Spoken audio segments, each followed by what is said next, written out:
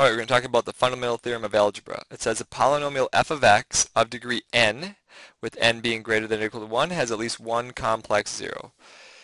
Basically what it's saying, if you have a polynomial like this one or this one or anything, as long as you have x to the first power, you're going to have a solution. You're going to have something that makes it equal to 0. It may be um, a number that you can find, like this number, crosses right on the x-axis, I can find it, or it may be an imaginary number that actually makes it 0 but there is going to be an answer to the problem that makes it equal to 0. So that's what they call a complex 0. All right, let's look at an example. This graph here, here's the polynomial, it produces this graph. You'll notice there is one, what we call real 0, and I can see it. It's almost 2. Whatever number this is, it makes this equal to 0. But then there's some other zeros because look at the bending. We know it's a cubic, and a cubic must have three zeros for a cubic function. Well, that's one real zero, and the other ones, I can't see them. They don't cross this axis. These are where the real zeros occur, so they have to be imaginary. That's why it says two imaginary zeros. If I go over to this parabola, x squared, x squared has two zeros, right? And you could find this by the quadratic formula. Set this equal to 0, use the quadratic formula on these things right here, a, B, C, and um, you'll find both zeros. So there's two of them, but they're both imaginary because they do not cross the x-axis. If they cross the x-axis, I would have real zeros. I'd be able to look at this and tell you what they were.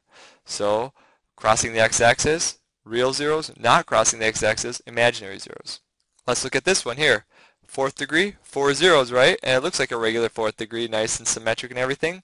But one zero, two real zeros, and what are the other two? They're imaginary. Four zeros total.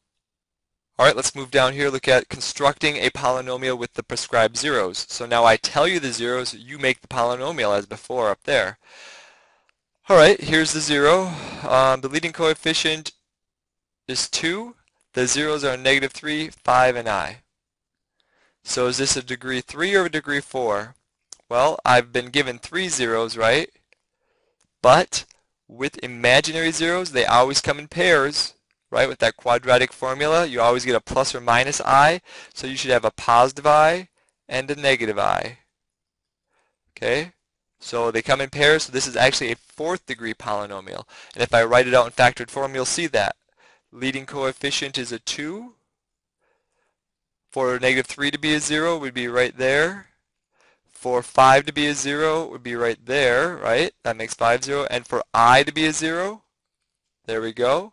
But now, since i is a 0, you have negative i is a 0. And for that to be a 0, I have to do plus i. There we go. That's the polynomial. If I want to multiply this out, I start with multiplying these guys out. Because it's easier to multiply this out and get them in to something smaller rather than trying to get a whole bunch of imaginary stuff. So let's multiply these out first. I'll show you what I mean. x times x is x squared. And then you have a plus ix, right? Plus ix. And then you have a minus ix right here. Minus ix. And then you have a minus i squared.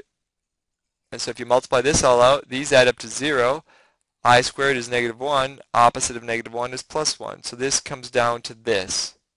So if you're multiplying this out to find the whole polynomial, you'll want to do your imaginaries first and then continue on the road. So here I have it done so we can see a little quicker. There's that portion, right? Now I'm going to multiply these two together, and then I just have a binomial times a trinomial, multiply them up, simplify it down. This would be the polynomial, and you'll notice a quick little thing, I did put that 2 in there, so it's in this one, right? I didn't wait till the end, I put it in here, and then I multiplied it through. But there's, this, there's the answer. This polynomial has four zeros, right? Look, degree 4, and we know that one of them is negative 3, one of them is 5, and the other two are both imaginary. Last quick example, if I wanted to find all zeros of this guy, I would just let the f of x equal 0, and basically solve it.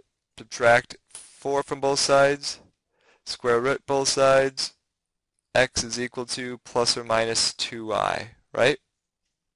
So both zeros in here happen to be imaginary, so 2i is a 0 and negative 2i is a 0. Again, they come in pairs.